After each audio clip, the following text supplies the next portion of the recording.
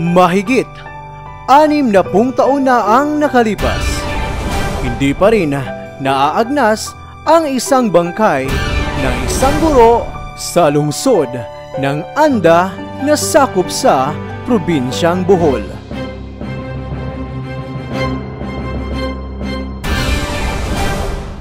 Pinagkakaguluhan ng mga maraming tao taon-taon. Dahil daw, ito ay nagmimilagro. At hindi lang yan, mahiya ang mga taong hindi naniniwala ng forever. Dahil sa mga magsyota, hihiling ka lang sa kanya. Siguradong magkakaroon ka na daw ng forever? At hindi lang yan, siya na sana ang pinakaunang buhulanang santa sa simbahan ng Katoliko.